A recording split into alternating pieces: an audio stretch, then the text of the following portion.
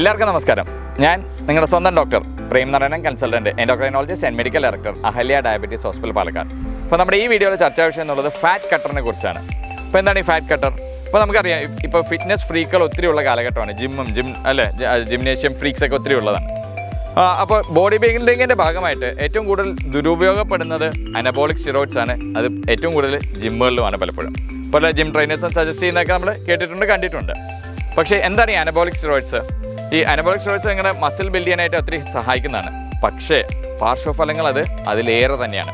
ഈ അനബോളിക് സ്റ്റിറോയിഡ്സിന്റെ ഒരു അപരനാമമാണ് fat cutter എന്ന് പറഞ്ഞ് കൊടുക്കുന്നത്. ചിലർ അറിഞ്ഞുകൊണ്ട് എടുക്കുന്നതുകൊണ്ട് ചിലർ അറിയാതെയും സ്റ്റിറോയിഡ്സ് എടുക്കുന്നവരുണ്ട്. അപ്പോൾ ഈ അനബോളിക് സ്റ്റിറോയിഡ്സ് ദീർഘകാലം ഉപയോഗിച്ച് കഴിയുമ്പോഴത്തേക്കും അതിൽ പല പ്രശ്നങ്ങൾ വരാം.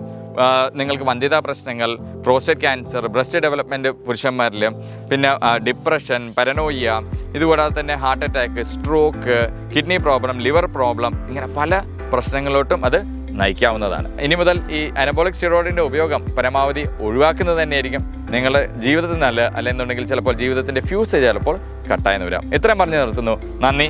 നമസ്കാരം.